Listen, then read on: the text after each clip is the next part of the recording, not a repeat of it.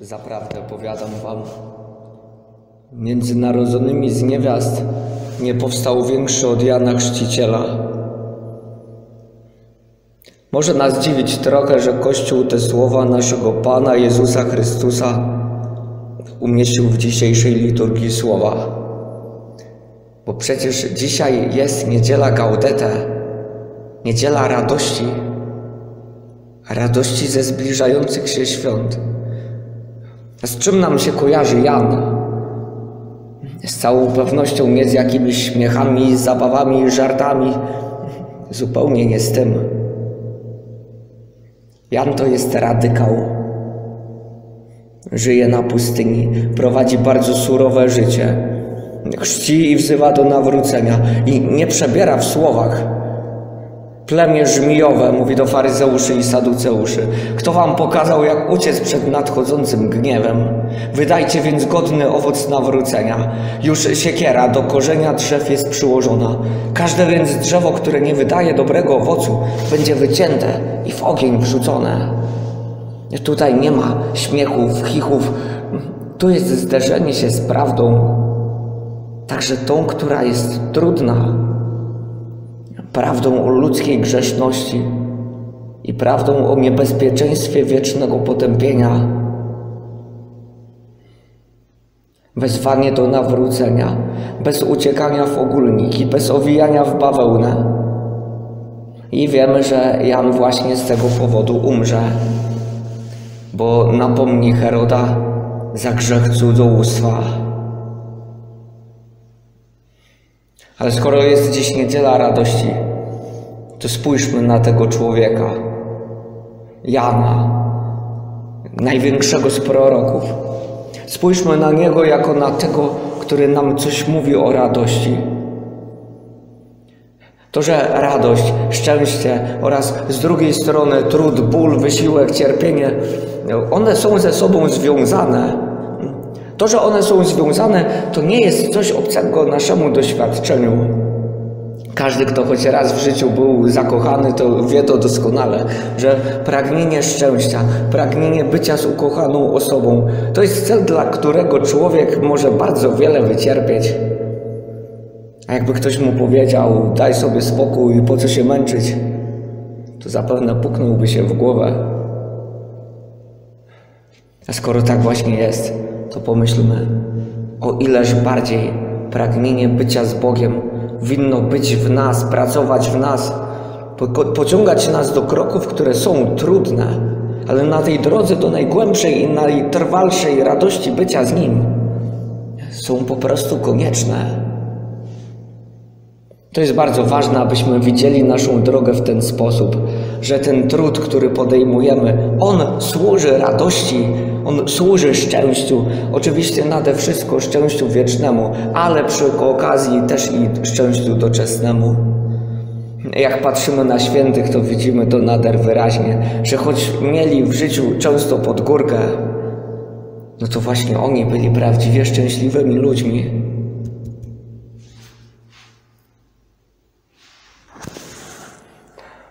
Pamiętamy pewnie wszyscy słowa, które Pan Bóg skierował do Kaina po zabójstwie Abla. Czytamy w Księdze Rodzaju. Pan zapytał Kaina, dlaczego jesteś smutny i dlaczego twarz Twoja jest ponura? Przecież gdybyś postępował dobrze, miałbyś twarz pogodną. Każdy, kto miał w życiu wyrzuty sumienia, może dławione, zagłuszane, może nawet całymi latami, Wie dobrze, że to jest stan, który jest absolutnym zaprzeczeniem radości. Kto żyje w niełasce, w grzechu, w kłamstwie, choćby nie wiem, co miał w życiu, to szczęśliwy po prostu nie będzie. Pewnie w ciągu najbliższych dwóch tygodni wielu z nas i naszych bliskich przystąpi do sakramentu pokuty i pojednania. Różnie określamy ten sakrament. Na pewno określenie sakrament miłosierdzia jest szczególnie trafne, szczególnie oddaje istotę tego, co w konfesjonale się wydarza. Ale w kontekście tej niedzieli może warto pomyśleć też o spowiedzi jako o sakramencie radości. Radości najgłębszej, radości największej, radości z bycia blisko największej miłości, którą jest sam Bóg. Sakrament radości. Ta radość będzie, jeżeli dobrze przeżyjemy ten sakrament. Dlatego chciałbym Wam, siostry i bracia, zwrócić uwagę na jeden z warunków spowiedzi. Warunku odnośnie do którego można mieć uzasadnione obawy, czy aby na pewno wszyscy w Kościele traktujemy go poważnie. Chodzi o postanowienie poprawy. Obawy o poważne traktowanie tego warunku są o tyle uzasadnione, że obserwujemy ludzi, a może i wśród nas tacy są, może my nimi jesteśmy. Ludzie, którzy całymi latami popełniają te same grzechy. Na przykład przy każdej okazji popełniają grzech obmowy, ciągle. Pewnie, pewnie każdy z nas zna też ludzi, którzy choć co jakiś czas się niby spowiadają, to dalej nie mają żadnego problemu ze zlekceważeniem niedzielnej Eucharystii czy postu piątkowego. Tak bardzo podstawowych obowiązków chrześcijanina. A że co się tam przejmować, przecież się wyspowiadam.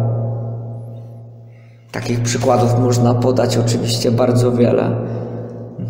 Traktowania postanowienia poprawy w sposób tak lekceważący, że stawia to co najmniej wielki znak zapytania przy tak arcyważnej kwestii, jaką jest, jest ważność sakramentu pokuty.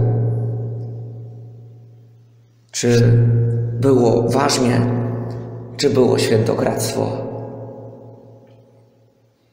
Wszyscy wiemy, że jest pięć warunków spowiedzi, wszystkie są ważne. A stąd wynika między innymi to, że choćby człowiek wyznał wszystkie grzechy i to najszczerzej jak się tylko da, to jeśli nie ma w sobie postanowienia zerwania z choćby jednym grzechem ciężkim, to ta spowiedź jest świętokradzka.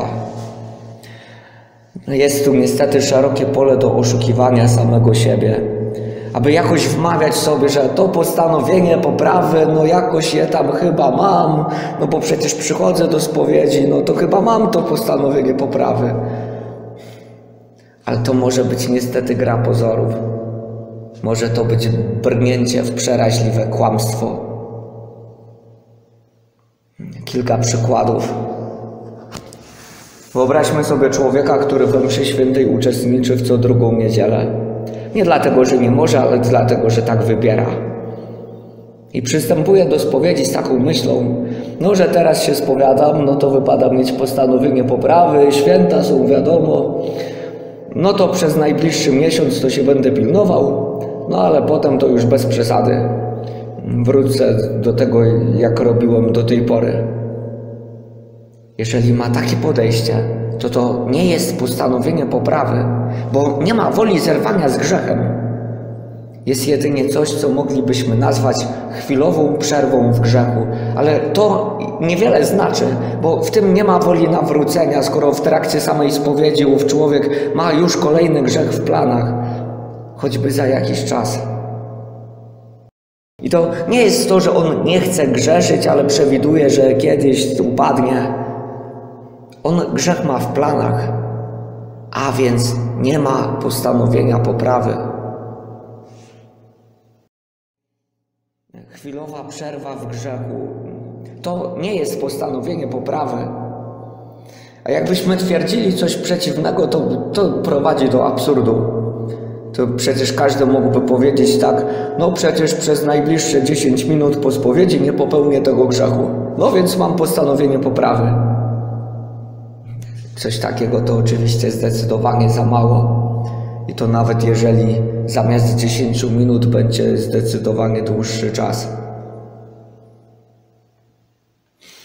Podobnie sprawy się mają, jeśli ktoś planuje tylko nieco ograniczyć swój ciężki grzech. Lekceważy co drugą Eucharystię niedzielną, to teraz będzie lekceważył sobie raz w miesiącu. I to oczywiście jest za mało do ważności rozgrzeszenia.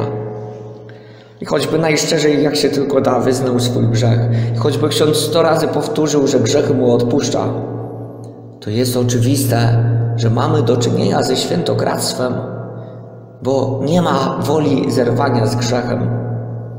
Dalej, jeśli ktoś jest alkoholikiem i wie, że nie może wypić ani kropli alkoholu, bo będzie wtedy dramat, ale sobie zostawia piwo w lodówce, tak na później, bo za jakiś czas to się w końcu napije, jak trochę czasu minie od tej spowiedzi, to znowu nie ma w nim woli nawrócenia. Jego postanowienie poprawy jest kłamstwem. Inny przykład. Jak małżonkowie używają środków antykoncepcyjnych, spowiadają się z tego, ale pomimo tego, że się spowiadają, to i tak sobie zostawiają te środki w domu, no bo przecież za jakiś czas się na pewno przydadzą. No to znowu ewidentnie nie ma woli zerwania z grzechem. Postanowienie poprawy jest więc fałszywe, a spowiedź jest świętokradzka. Tego typu przykłady można ciągnąć bez końca. Można siebie oszukiwać, można wmawiać sobie żal, można postanowienie poprawy sobie wmawiać, można wmawiać sobie, że grzech wyznany niejasno, ogólnikowo, że został jednak wyznany. Ale to wszystko jest brnięcie w kłamstwo. I choćby człowiek przez pewien czas oszukiwał samego siebie, że jest blisko Boga, choćby wywoływał w sobie jakieś wzruszenie i sto razy nawet powtarzał: Mój Jezu, jak ja Cię kocham, to ta radość zbudowana na kłamstwie i świętokradztwie, jako radość fałszywa, bardzo szybko się zawali. Bo będzie Pan Bóg domagał się o jego nawrócenie, będzie dawał mu wyrzuty sumienia, a nie pokój. Nie da mu zaznać prawdziwego szczęścia, bo jakby mu, je, jakby mu prawdziwe szczęście dał, to to tylko utwierdziłoby go na drodze ku wiecznemu potępieniu. Mam nadzieję, że to wszystko mówię niepotrzebnie, bo to w zasadzie są same oczywistości. Ale nawet jeżeli tak, to proszę Cię, bracie, proszę Cię, siostro, powiedz to temu, kogo znasz, a kto sakrament pokuty traktuje w sposób lekki, frywolny, lekceważący, temu, który planuje jak zwykle się wyspowiadać i jak zwykle z niczego się nie poprawić. Powiedz mu to, aby jego duszę uratować aby mógł radować się kiedyś w niebie i aby mógł prawdziwie rozradować się także już tutaj, w tym życiu. Mówi Pan Jezus w wieczorniku do apostołów: To wam powiedziałem, aby radość moja w was była i aby radość wasza była pełna. Ja dzisiaj to powiedziałem, aby radość wasza była pełna. Dużo radości wam i sobie życzę także tej związanej z sakramentem miłosierdzia, z sakramentem radości.